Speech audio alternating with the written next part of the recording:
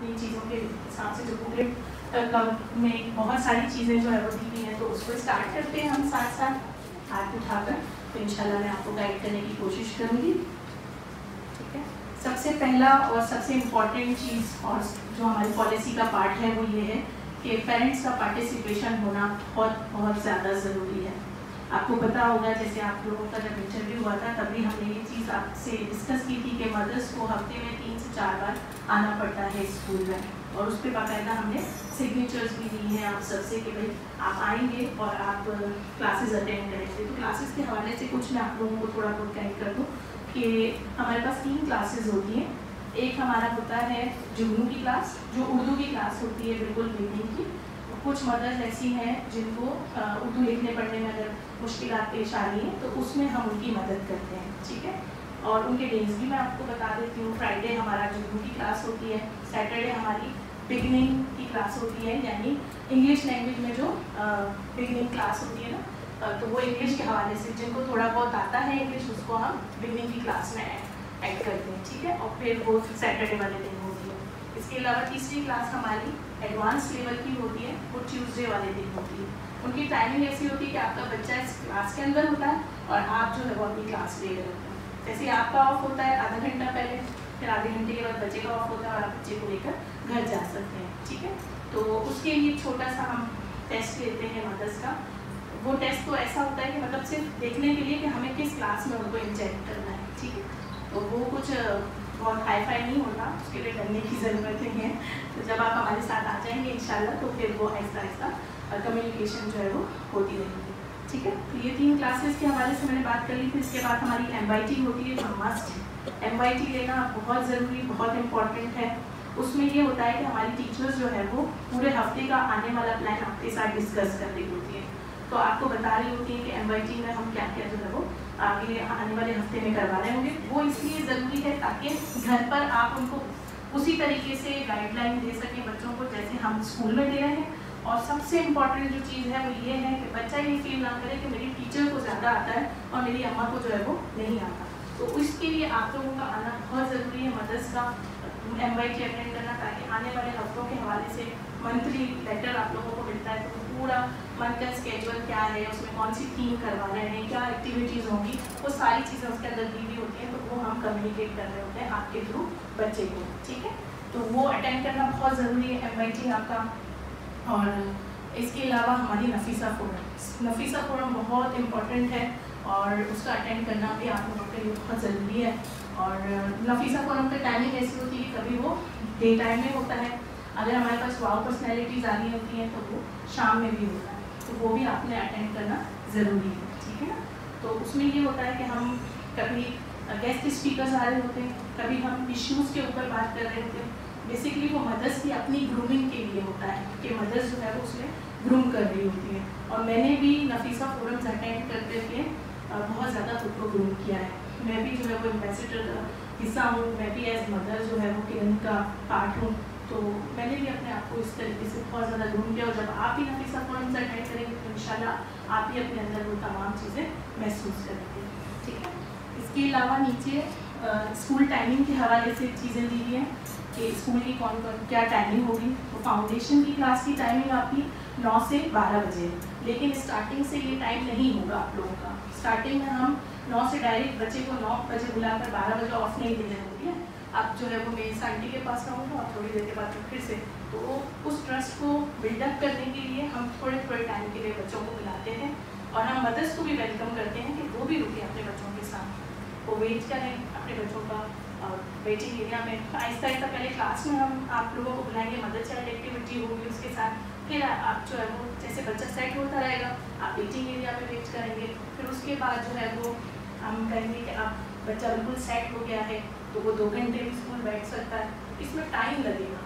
होता ये है कि जब बच्चे आ जाते हैं तो मदर्स को होता है कि अब तो हम आके थक गए हैं ये भले बैठ जाए क्लास में, मैं चली जाऊँ।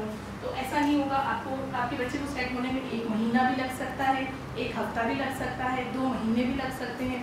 तो आपने जो है वो बहुत पेशेंटली उनके साथ बैठना है वेट करना है। जब तक बच्चा सेट नहीं हो जाएगा, हम आपको नहीं कहेंगे कि अब आप घर जाएँ। ठीक है? ना तो इसके लिए भी मेंटली तैयार रहें कि एक महीना भी रुक सकते हैं, आप हमारे साथ हफ़्ता भी रुक सकते हैं। जितनी जल्दी आपका बच्चा सेट हो जाएगा, उतनी जल्दी जो है वो फिर हम आपसे कहेंगे कि आप नीचे वेटिंग एरिया में जाएँगे ठीक है? तो टाइमिंग जो है वो नौ से बारह है। फाउंडेशन की नर्सरी की साढ़े आठ से साढ़े बारह। सुबह eight thirty till twelve thirty है। और के की एट थर्टी टिल वन है। ये टाइमिंग आप देख रहे होंगे कि छुट्टी की टाइमिंग में काफ़ी फासला दिया हुआ है हमने। बारह बजे की छुट्टी हो रही है। सेकेंड की साढ़े बारह हो रही है, फिर एक बजे हो रही है। इसकी भी एक वजह है। इसकी वजह ये है कि जब फाउंडेशन के बच्चे जा रहे होते हैं तो हम उनको गुड बाय कहते हैं, अल्लाह फिर फिर वो चले जाते हैं। फिर हम नर्सरी के बच्चों को ऑफ़ देते हैं आधे घंटे के गैप के साथ, ताकि एक बहुत ज़्यादा क्राउड और रश जो है वो पेरेंट्स का भी ना हो और बच्चों का भी जो है वो एक साथ जब बच्चे निकल रहे होते हैं तो मुश्किल का सामना करना पड़ता है। ठीक है?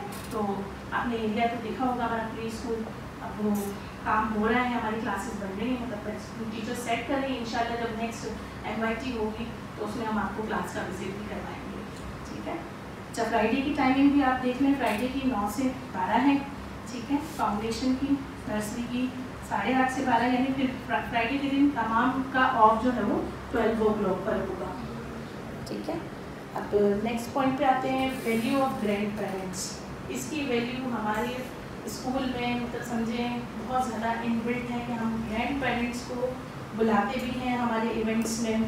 हम उनको स्टोरी टेलिंग के लिए भी बुलाते हैं जिसके लिए वो बहुत ज़्यादा खुश हैं कि आप ये जज्बा बच्चों के अंदर पैदा करें। टास्क तो हम देते रहेंगे उनको बुलाते भी रहेंगे उनके साथ इंटरेक्शन भी होता रहेगा। हमारे पास एक मदर दादी मौजूद भी हैं फहद की दादी जो हमारे साथ है तो वो भी बहुत माशाल्लाह आप हाथ आगे बता दें। होते हैं तो सब देखिए हाँ।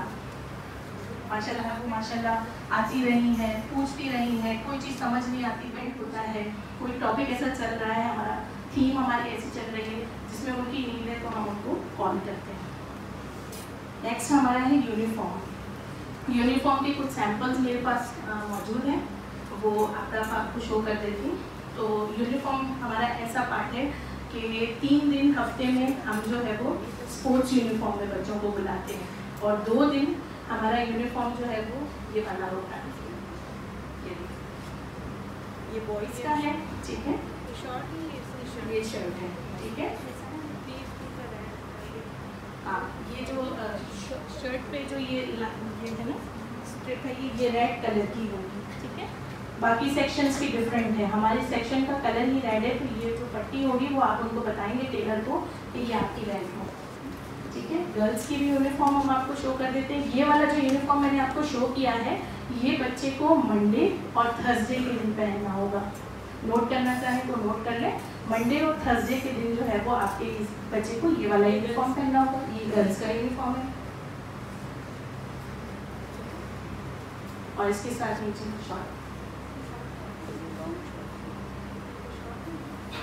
लॉन्ग शॉर्ट आप जब यूनिफॉर्म के शॉप पे जाएँगे तो इंशाल्लाह आपको पता चल जाएगा, इस बुकलेट के अंदर हमने यूनिफॉर्म जहाँ से आपने परचेज करना है, उसका कार्ड भी डाल दिया है, ठीक है? तो वहाँ जाकर जब आप कहेंगे तो आपको इंशाल्लाह मिल जाएगा।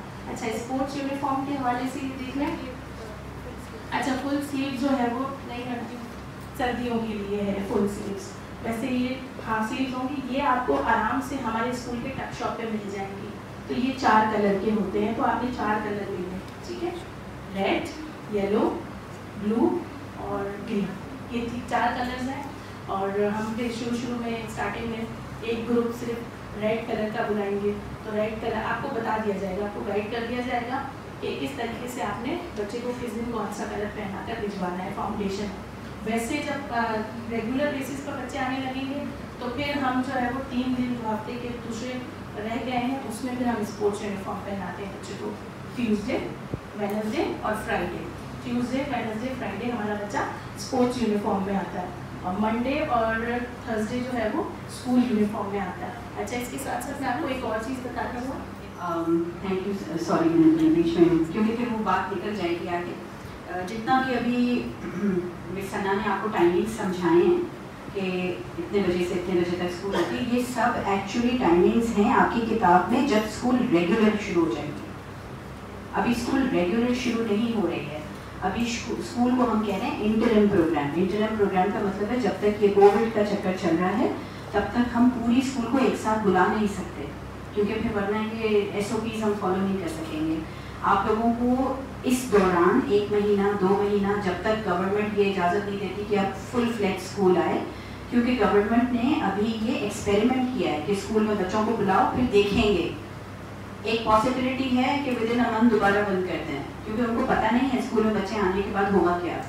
तो इसलिए जो अभी का टाइम है इंटरम पीरियड का टाइम इंटरम का मतलब है जब तक के प्रॉपर स्कूल शुरू नहीं हो रही, उसकी सारी टाइम टेबल आपको नेक्स्ट मीटिंग में मिलेगी।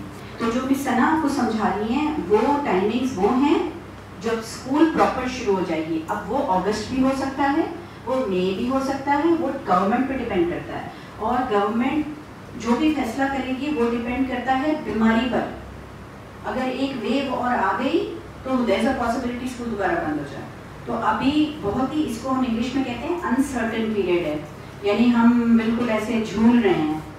तो जो भी होगा, कुदरत कुदरत की तरफ़ से हो रहा है। तो अगर अचानक से स्कूल बंद हो गए तो उसमें आपकी कॉपरेशन चाहिए होगी। अचानक से खुल गई तो आपकी कॉपरेशन चाहिए होगी। हमें इस पूरे दौरान ये जो दो तीन महीने हैं जो स्कूल खुल रही है, हमें आपस में बहुत मिलना होगा, वरना हम परेशान रहेंगे। हम भी परेशान हैं, आपको भी परेशानी होगी, ये मैं पहले से बता रही हूँ। उससे बेजार नहीं होना है, क्योंकि हम वही करेंगे जिसमें बच्चों की हिफाजत हो। ठीक है? और दूसरी चीज़ जो अभी एक इन्होंने बताई ये टी शर्ट वाली आ, नहीं ये टक शॉप पे नहीं रखेंगे हम। ये टी शर्ट्स जो हैं सादी प्लेन जैसे ये रेड है हाफ़ स्लीव्स की नॉर्मली हाफ़ स्लीव्स की टी शर्ट होती है एक कलर की। ये जैनब मार्केट में मिलती हैं।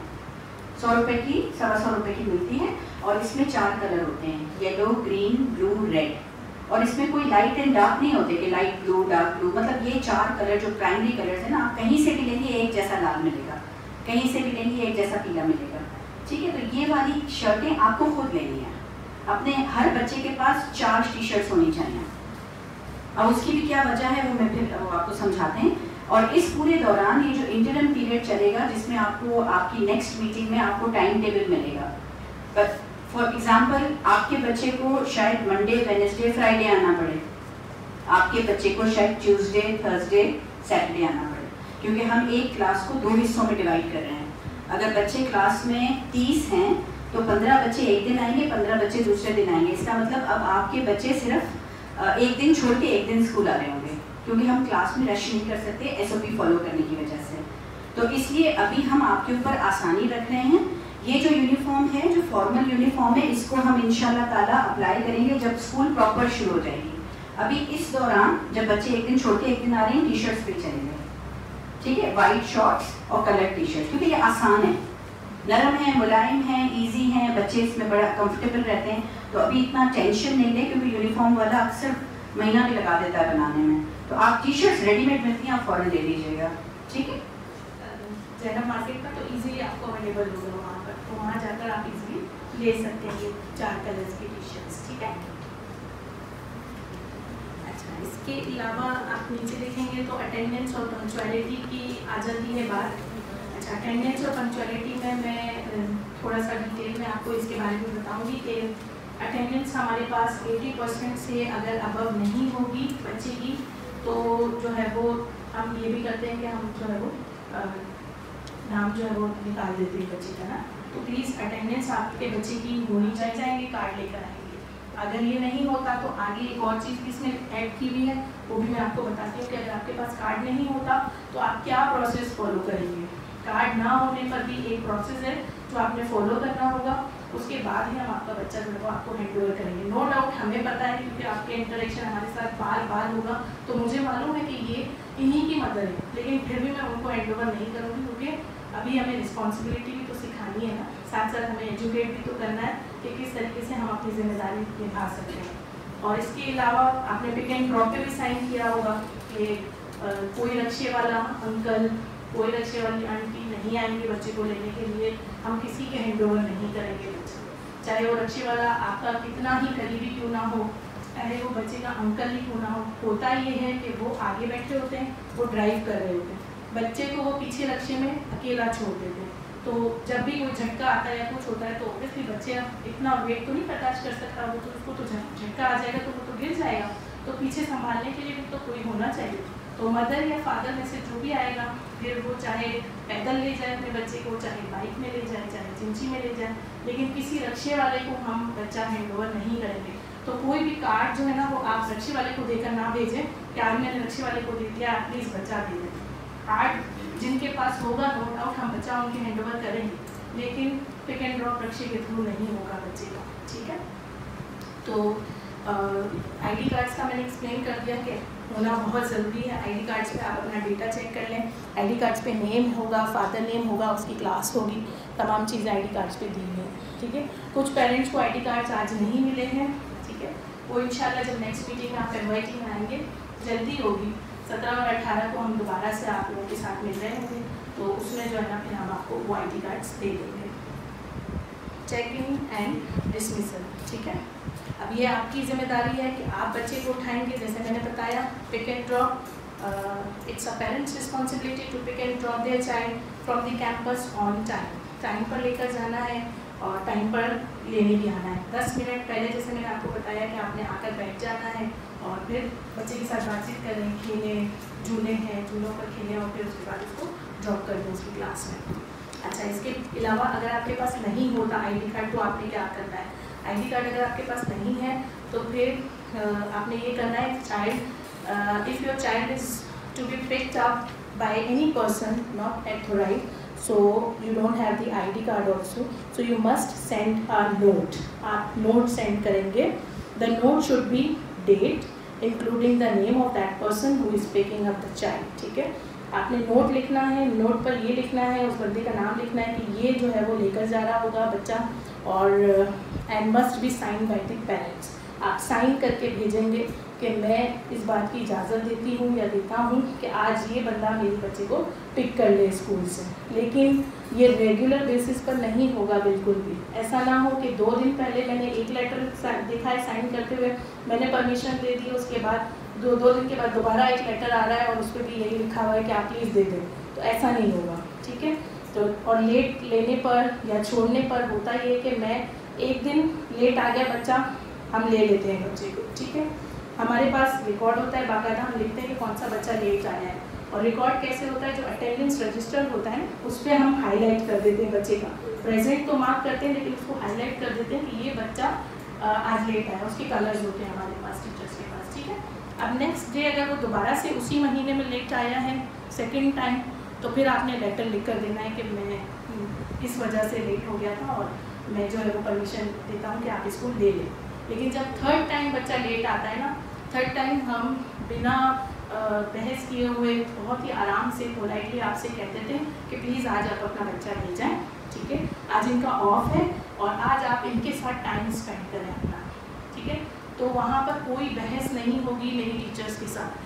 कि प्लीज़ मिस सना आज पहली दफ़ा हुआ है, क्योंकि मेरे पास तो रिकॉर्ड है ना कि मैंने दो बार ऑलरेडी देख देख चुकी हूँ मैं कि वो बच्चा लेट आया है। तो तीसरी बार में मैं बिल्कुल बच्चे को नहीं लूँगी क्लास में तो कोई इस बात के लिए बहस भी नहीं करेगा और बहुत खामोशी से, आराम से आप बच्चे को ले जाएँ। उसके बाद जो बात आपने करनी है, वो करें, क्योंकि बच्चे के सामने ना हम नहीं कर सकते आपके साथ बहस मोबाइल सा के, नहीं नहीं प्लीज़ ले लें। और पता है, होता क्या है कि अक्सर मैंने ये भी देखा है कि पेरेंट्स कभी कभी बच्चे को क्लास में भेजने के लिए हम होता है, झूठ भी बोल देते हैं। बोलते हैं ना हम झूठ कि नहीं नहीं, गाड़ी पंचर हो गई थी। बच्चे को तो पता है कि गाड़ी पंचर नहीं हुई थी और हम जो है वो ले आए हैं।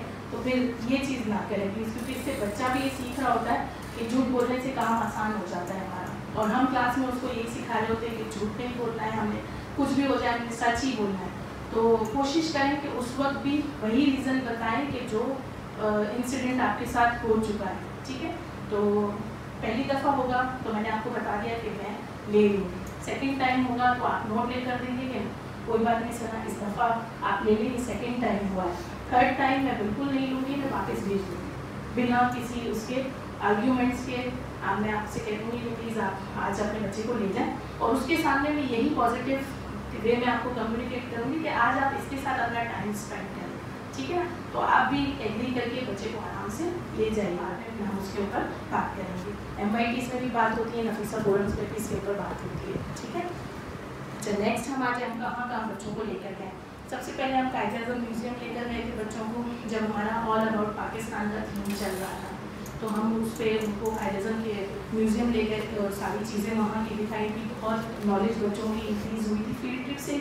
नॉलेज इंक्रीज़ होती है और दूसरी चीज़ मैंने ये फील किया है कि बच्चों के माइंड में वो चीज़ ताहयात रह जाती है कि हमने वहाँ जाके फातिमा जीना के शूज़ भी देखे थे। बच्चों ने आकर फिर बाद में ये बताया था हमको कि जो उन्होंने पहना था ना फातिमा जीना ने वो जूते भी थे ना अभी वो भी हमने देखे थे। तो इससे क्या होता है फ़ील्ड ट्रिप्स उनके माइंड में रह जाती है और वो एजुकेशन का पार्ट है। तो ये हमारे सिस्टम का भी पार्ट है करिकुलम का पार्ट है। तो जैसे जैसे थीम चलती रहेगी, वैसे वैसे हम उनको फ़ील्ड ट्रिप्स पर लेकर जाएँगे। दूसरा हमारा फ़ील्ड ट्रिप हुआ था डेंजू का। डेंजू का फ़ील्ड ट्रिप हुआ था, वो एनिमल्स की थीम चल रही थी। ये जो है वो फंड पे भी होता है कि अगर हमें फंड मिल जाते हैं, कोई हमें फ्री कर देता है तो हम उसको यूटिलाइज कर लेते हैं, ठीक है? अच्छा नेक्स्ट हमारी थीम चली थी व्हील्स एंड विंग्स ट्रांसपोर्ट की। तो उस पर हम पी एफ़ म्यूज़ियम ले गए थे वहाँ भी हमने रिक्वेस्ट की थी कि जो है वो फ्री है तो हमें आप बुला लें तो हम सब एक साथ जो है गए थे। तो बस ये सिचुएशन ऐसी है कि अगर सिचुएशन होगी इस चीज़ की तो हम ज़रूर आपके बच्चों को भी फ़ील्ड ट्रिप पर लेकर जाएँगे, ठीक है? और इसके अलावा हमारी बर्ड्स की थीम चली थी तो उस पर हम फ़ील्ड ट्रिप पे तो नहीं ले जा सके थे, लेकिन हमारे पास एक वॉल्टियर मदर आई थी जो अपने घर में बर्ड्स पालती हैं। तो वो बर्ड्स लेकर आई थी अपने सारे हर रोज़ एक बर्ड लेकर आती बच्चे उसके साथ खेलते, उसके साथ बातें करते मज़ा करते पिक्चर्स उतारी, उन्होंने उसके बारे में बताया कि ये क्या खाता है। तो इससे भी बच्चों की नॉलेज बहुत ज़्यादा बढ़ रही होती है। ये ज़रूरी नहीं है कि हर थीम के लिए हम उनको बाहर ही लेकर जाएँ और सिखाएँ। कुछ थीम्स ऐसी होंगी जो इंटरनली भी हम एक्टिविटीज़ कर रहे होंगे। जैसे व्हील्स एंड विंग्स में हमने साइकिलिंग की एक्टिविटी की थी, जिसमें बच्चों को बहुत मज़ा आया था। हमने सबकी साइकिल्स मंगवा ली थी। जिनके पास नहीं था उनको शेयरिंग भी सिखाई थी कि आप अपनी शेयर करें, अपनी साइकिल तो बच्चों ने पूरे ग्राउंड में जो साइकिलिंग की थी तो उनको बहुत मज़ा आया था। तो कुछ थीम्स ऐसी होंगी जो इंटरनली हम एक्टिविटीज़ थीम बेस्ड कर रहे होंगे। तो आपको टाइम बाई टाइम हम इन्फॉर्म करते रहेंगे, ठीक है? हेल्थ एंड सेफ्टी के हवाले से भी मैं ये बात करूँगी कि अगर आपको लगता है कि आपका बच्चा बीमार है, किसी भी रीज़न से खांसी है, बुखार है, नज़ला है, ज़ुकाम है, या कोई ऐसी चीज़ है जो क्लास में जाकर वो और मज़ीद बीमार हो जाए कि वोमिटिंग हो रही है सुबह सुबह हो रही है तो प्लीज़ आप एक एप्लीकेशन लिखकर सबमिट करवा दें कि मेरा बच्चा बीमार है इस वजह से वो स्कूल नहीं आ सकता होता ये कि बच्चा तो स्कूल आ जाता है वो बच्चे बहुत इंथोजियस्टिक हाँ, होते हैं कि वो जाएँ स्कूल खुशी खुशी जाते हैं। मुझे पता है कि फीवर होता है तो पेरेंट्स आके कहते हैं आज इसको बुखार है लेकिन ये बहुत ज़िद कर रहा है सनत स्कूल आने के लिए। तो हम जो है ना, उस वक्त सिचुएशन में बच्चे को ना वापस कर सकते हैं, ना रख सकते हैं। क्योंकि रखेंगे तो ऑब्वियसली उसकी तबीयत ज़्यादा ख़राब होगी। हम दोबारा आपको कॉल करके बुलाएँगे कि आप प्लीज़ आकर बच्चे को ले जाएँ। तो ये आपके लिए भी मेहनत हो जाएगी और हमारे लिए भी जो है ना, वो थोड़ा सा मुश्किल हो जाएगा। तो कोशिश करें कि अगर बच्चा आपको ऐसा लग रहा है कि वो क्लास में एडजस्ट नहीं हो पाएगा आज और बीमार है तो उसको कोशिश करें घर पे वो रहें और उसका ख्याल रखें। और कम बीमार है और वो स्कूल आ सकता है तो वो भेज दें, कोई मसला नहीं। हमारे पास स्कूल में क्लासेस में पीस कॉर्नर का एरिया बना हुआ है तो वहाँ थोड़ी देर बच्चे को रेस्ट भी करवाते हैं, फिर वो दोबारा से जो आ जाते हैं अपने डेली रूटीन पर ठीक है? टॉयलेटिंग नेक्स्ट है टॉयलेटिंग बच्चा आपको पता है कि ढाई से साढ़े तीन साल का है तो टॉयलेटिंग का बहुत ख्याल रखना है उसको ट्रेन कर रहे हैं। पॉटी ट्रेन अपने बच्चे को करना है। हमारे पास बहुत सारी ऐसी बुक्स भी हैं, जिसके थ्रू हम बच्चों को बता रहे होते हैं। लेकिन ट्रेन करना वो मदर का काम है। बच्चे को ट्रेन करना मदर का काम है और जो है वो कोशिश करें कि अभी उसकी पैकर की आदत जो है वो आहिस्ता आहिस्ता ख़त्म होने लगे, क्योंकि वो उसको आपको ट्रेन करना है, ठीक है? क्योंकि मैं अक्सर देखती हूँ कि सात आठ घंटे से रात को बच्चे ने पैम्पर पहना हुआ है और सुबह में बच्चा उसी पैम्पर में आ गया स्कूल तो कोशिश करें कि please neat and clean hygiene का बहुत ज़्यादा ख्याल रखें। अभी आगे हाइजीन भी आएगा तो उसके हवाले से भी मैं आपको बताऊँगी कि हमारे हाइजीन की चेकिंग कैसे होती है। ठीक है ना? तो कोशिश करें कि आहिस्ता आहिस्ता आप उनको ट्रेन करना शुरू करें। आपके पास भी घर में आप उनको बताएँ कि अगर आती है तो आपने आप ही को क्या कहना है? वॉशरूम ले जाएँ, उसको बैठना सिखाएँ पॉट पर के कैसे बैठना है। ठीक है? नो डाउट हमारे पास आंटीज़ हैं और माशाल्लाह वो बहुत ख्याल भी रखती हैं बच्चों का। और वो क्लीन भी अच्छे से करके भेजती हैं बच्चों को क्लास में। लेकिन फिर ट्रेन करना आपका काम है, आप उनको ट्रेन करते जाएँ, आहिस्ता आहिस्ता, ठीक है? अच्छा unusual circumstances if there are any unusual circumstances at home कभी कभी घर पे ये होता है कि कोई बीमार है। फॉर एग्जांपल बच्चा बीमार नहीं है, लेकिन आप लोगों में से कोई बीमार है, नानी दादी बीमार है, या किसी की डेथ हो गई है तो इस चीज़ का भी बहुत ख्याल रखें कि हम जो है वो जब खुदा खास्ता किसी की डेथ हो जाती है तो बच्चे को शो नहीं करते। ढाई से साढ़े तीन साल नर्सरी के बच्चे को के के बच्चे को हम प्रेफर करते हैं कि आप वो चीज़ बच्चों को ना दिखाएँ, ठीक है? इसीलिए कि वो उनके माइंड में फिर बैठ जाती है चीज़ तो वो फिर हमेशा के लिए वो साथ रह जाती है। तो इसका जो है वो एक वाक़ भी है। वो मैं चाहूँगी कि आप लोगों के साथ शेयर करूँ कि जो है वो स्कूल आया तो वो हर वाइट कलर से डरता था। तो समझ नहीं आ रहा था टीचर्स को कि वो हर वाइट कलर से क्यों डर रहा है। जब भी कोई चीज़ वाइट पेपर दिया जाए हाथ में तो वो डर जाता था। कोई क्लास में कोई ऐसी चीज़ लगी हुई हो वाइट तो वो डर जाता था। तो ऐसा आहिस्ता जब हमने उनके पेरेंट्स से पूछा तो उन्होंने बताया कि भाई उन्होंने इस तरीके से किसी को जो है वो वाइट कफन में लपटा हुआ देखा था बच्चे ने। तो वो चीज़ उनके माइंड में रह गई। तो बहुत मुश्किल से फिर उसके ऊपर सरियांची ने काम किया बच्चे के साथ। तो आहिस्ता आहिस्ता वो चीज़ ख़त्म हुई। इसीलिए हम कोशिश करते हैं कि हम ऐसी चीज़ बच्चे को ना दिखाएँ। उस वक्त किसी के घर भेज दें ऊपर भेज दें, नीचे पड़ोस में भेज दें कि वो बच्चा जो है वो इस चीज़ से वाकिफ़ ना हो। सही? तो अगर कोई अनसर्टनिटी हो गई है तो कुछ और अरेंजमेंट कर लें please notify this to the teacher teacher को आपको बताना बहुत ज़रूरी है। छोटी से छोटी चीज़ आप ऑब्ज़र्व कर रहे हैं, बड़ी से बड़ी चीज़ अपने बच्चे के अंदर ऑब्ज़र्व कर रहे हैं। टीचर को ज़रूर बताएँ। क्योंकि साल गुजर जाता है और हेल्थ का अगर कोई इशू आता है और हम पेरेंट को ये बताते हैं कि देखें, बच्चा दूर से देखने में थोड़ी उसको दिक्कत हो रही है तो पेरेंट्स को पता चलता है कि अच्छा मेरे बच्चे की आई साइड वीक है। तो इस चीज़ का आपको बताना है टीचर को, कि मैं ये ऑब्ज़र्व कर रही हूँ कि मेरे बच्चे को शायद दूर से करीब की चीज़ या दूर की चीज़ नज़र नहीं आती तो आप, मैं क्या करूँ? टीचर से गाइडलाइन भी ज़रूर लें, ये आपके पास होंगी, इंशाल्लाह, बहुत आप लोगों के साथ इन टच रहकर, करीब रहकर काम कर रही होंगे टीचर तो आप जो सवाल हो उनसे पूछ सकते हैं। और कोई ऐसी चीज़ आपको लगता है तो ज़रूर बताएँ। हेल्थ का भी हमने एक फॉर्म आपसे फिल करवाया था। उसमें बहुत सारे पेरेंट्स ने एलर्जी के बारे में भी बताया, डस्ट एलर्जी, उसका भी हम ख्याल रखते हैं। ठीक है ना, स्कूल के अंदर भी। तो कोई छोटी से छोटी चीज़ हो, आप ज़रूर इन्फॉर्म करें, इंशाल्लाह हम उसके ऊपर बच्चे के साथ काम ज़रूर करेंगे। ठीक है प्लेंटी ऑफ़ रेस्ट ज़्यादा से ज़्यादा बच्चे को रेस्ट करवाना है ब्रेकफास्ट और लंच उनको अच्छा देना है, ठीक है? और इसके नहीं पहनने पर हम बच्चे को घर भेज रहे होते हैं। अगर उन्होंने पेंटी नहीं पहनी है अंदर तो हम बच्चे को घर भेज देते हैं। इसीलिए नहीं कि ये उसकी पनिशमेंट है या उसको हम ये शो करना चाह रहे हैं कि आपने नहीं पहना। इसीलिए कि मदर केयरफुल हो जाए इस चीज़ को लेकर और दूसरा ये कि ये हमारा कंसर्न है आपके साथ कि ये ज़रूर बच्चे ने पहनना है, ठीक है? और निक्स और लाइज इसलिए हम घर भेज रहे होते हैं कि आप उनके साथ टाइम स्पेंड करें। आप उनके साथ टाइम स्पेंड करें और उसको अच्छे से क्लीन करके उसके हेड को फिर नेक्स्ट डे आप उसको लेकर आए। ठीक है? तो इसमें कोई भी बुरा नहीं मानेगा। कोई ये नहीं कहेगा कि मेरे बच्चे को क्यों बाहर भेज दिया? आए आए, मैं अभी आपको चेक करके बताती हूँ कि नहीं है मिस मेरे बच्चे के सर में निक्स और लाई और आप कह रही हैं कि है। ये उस वक्त नहीं करना है। सारे पेरेंट्स के सामने सबके सामने ये नहीं करना है। आपने इससे एक गलत इम्प्रेशन बच्चे के पास भी जाता है और बच्चा कितना ज़्यादा अभी मोटिवेटेड फील करता है कि अच्छा गलती किसकी है? अगर बच्चा साफ़ नहीं आया, उसमें बच्चे की गलती है, क्योंकि वो तो ढाई साढ़े तीन साल का है, उसकी तो गलती है ही नहीं। इसका मतलब गलती हमारी है कहीं ना कहीं रेटिंग हमारी है और हम जो है वो उसके ऊपर डाल रहे हैं या टीचर के ऊपर डाल रहे हैं, ठीक है? तो इस बात का बहुत ख्याल रखें टीचर्स के ऊपर ट्रस्ट रखें कि उन्होंने अगर कहा है तो ज़रूर होगा। सही? है उस वक्त आप बच्चे को ले जाए घर क्लीन करके नेक्स्ट डे दोबारा भेज दें अच्छा ये हाइजीन का प्रोसेस हमारा तीन दिन चलता है। पहले दिन हमने चेक करके बच्चे को वापस भेजा।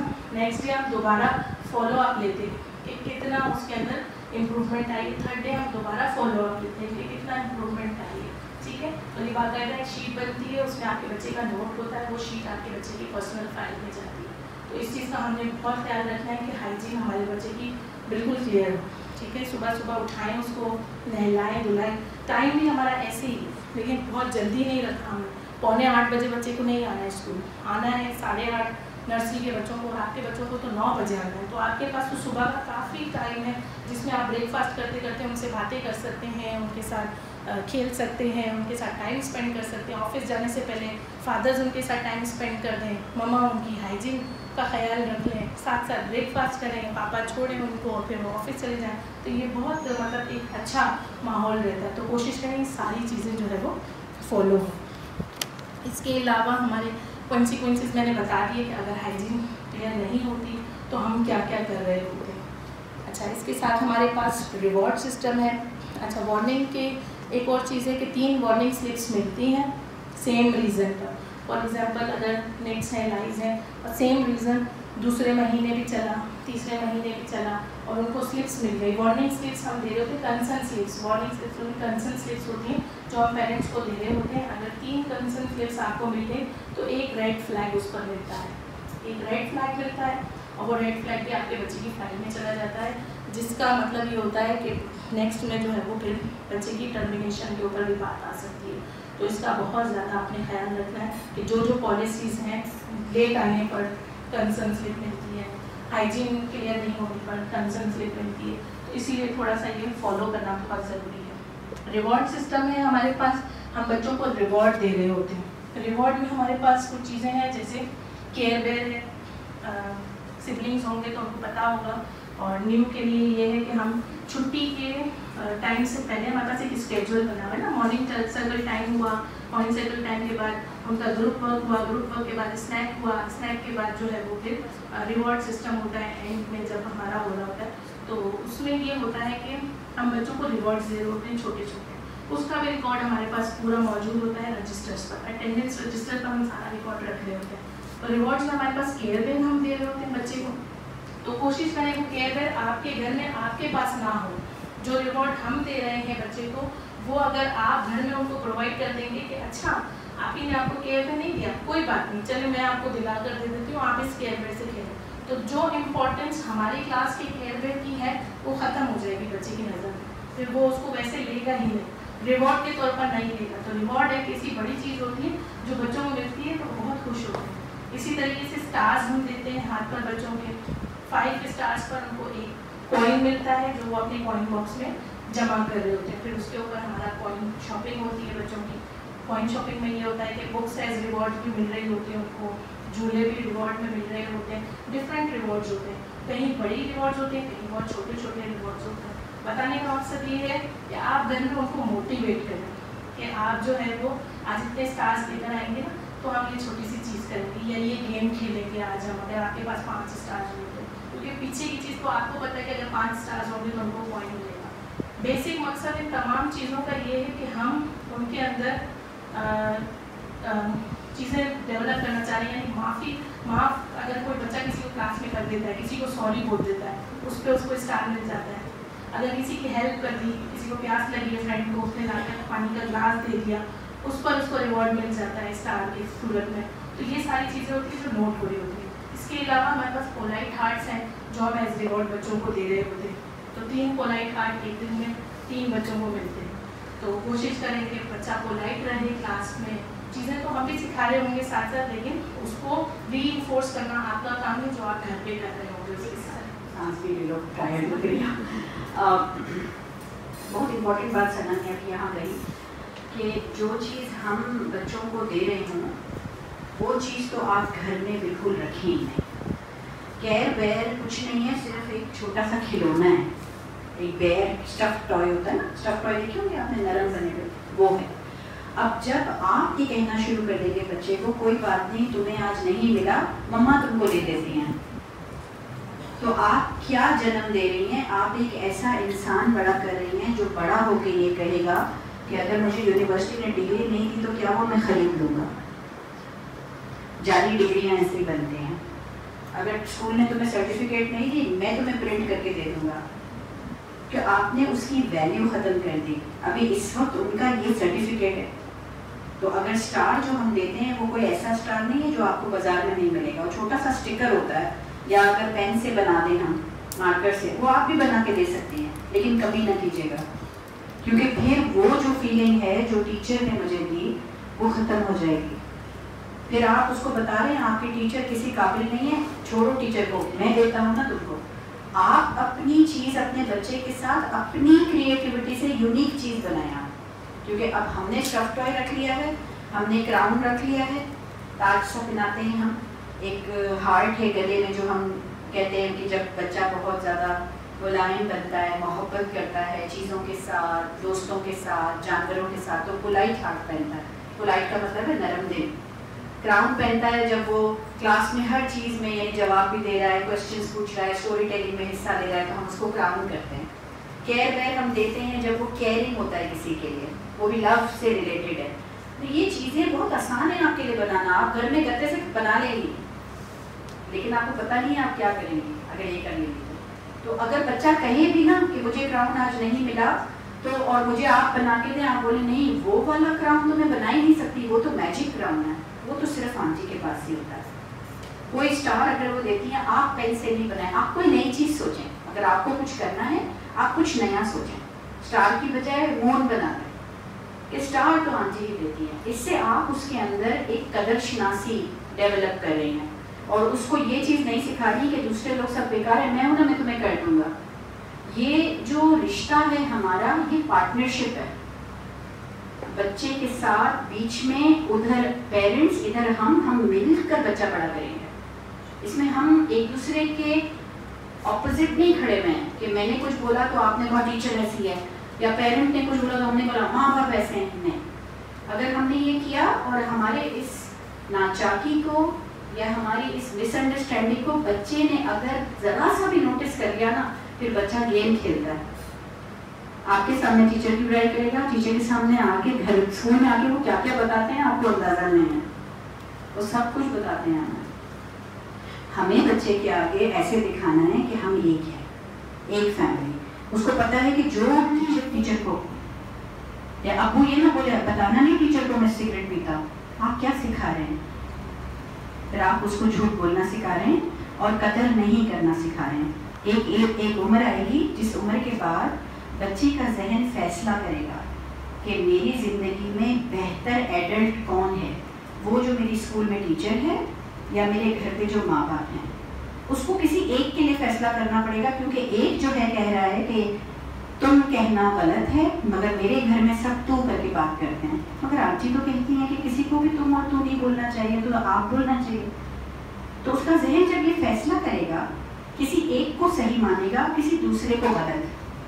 लेट्स इमेजिन उसने हमें सही मान लिया। और आपको गलत जहन में बना लिया, मेरी आंटी ठीक है क्योंकि मेरा दिल कहता है, ये ज़्यादा अच्छी है। ये सही से बात करती है। वो आपके लिए ख़राब है। क्योंकि वो आपकी रिस्पेक्ट करना दिन ब दिन, जैसे बारह चौदह साल का होगा ना रिस्पेक्ट ख़त्म हो जाएगी पेरेंट के बारह चौदह भी हो जाएँगे बच्चे? आपको पता भी नहीं चलेगा। और अगर उसने दिल में ये कह दिया कि मेरी टीचर बेकार ऐसे ही बोल रही हैं, मेरा घर का माहौल अच्छा है तो फिर वो स्कूल में तीन चार साल में ग्रेड्स ड्रॉप और स्कूल के अंदर ब्लैक लिस्ट हो जाएगा। वो उसके लिए बुरा है, क्योंकि वो स्कूल में मिसफिट हो जाएगा। बार बार टीचर शिकायतें करेगी, क्योंकि उसके दिल में इज़्ज़त खत्म हो गई टीचर की। उसने फैसला कर लिया, मेरा पेरेंट ठीक है। फिर वो बेवजह स्कूल आ रहा है हंस रहा है टीचर के ऊपर। दिल दिल में मज़ाक उड़ा रहा है।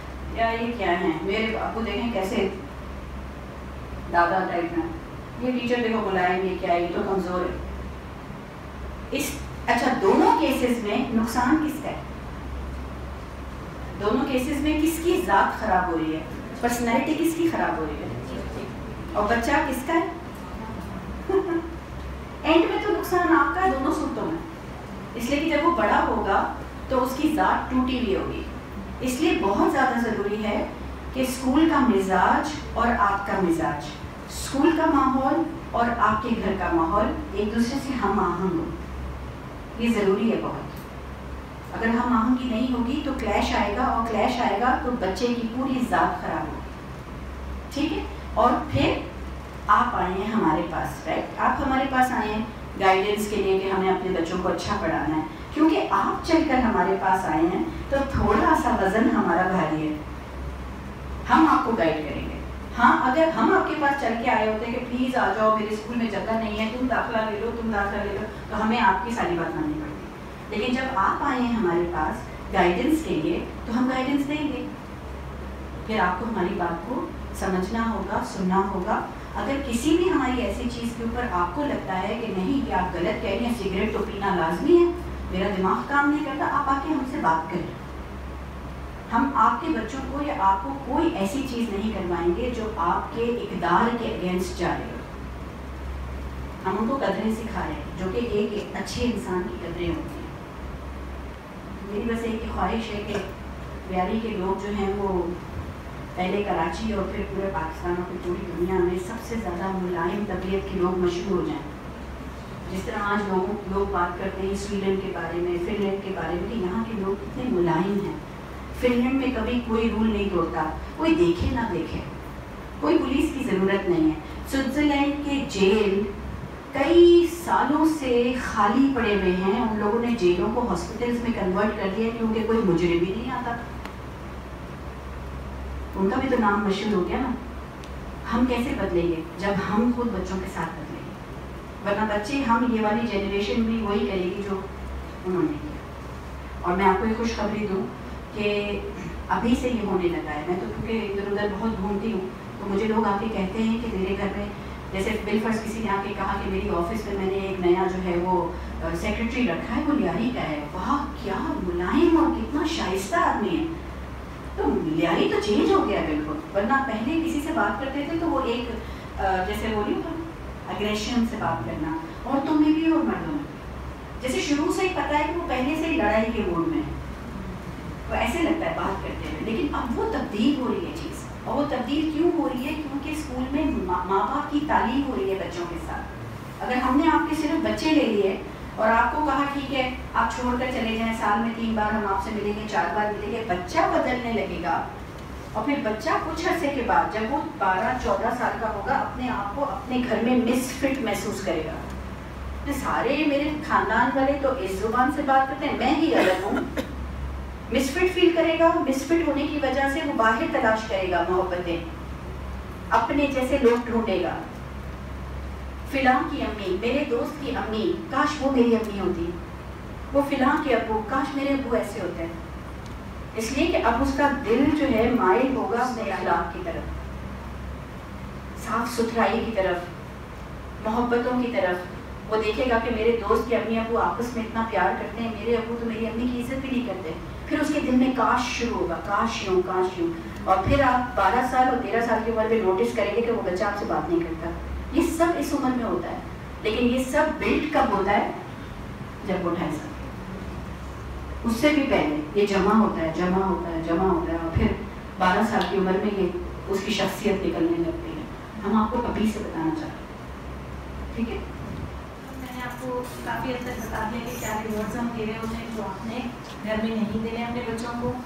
ग्राउंड रूल्स फॉर पेरेंट्स काफ़ी सारी चीज़ें सलियान जी ने भी इसमें क्लियर कर दी कि आप लोगों की क्या गाइडलाइंस आपको देने हैं हमें, कि आपने क्या क्या चीज़ें फॉलो करनी होंगी, ठीक है?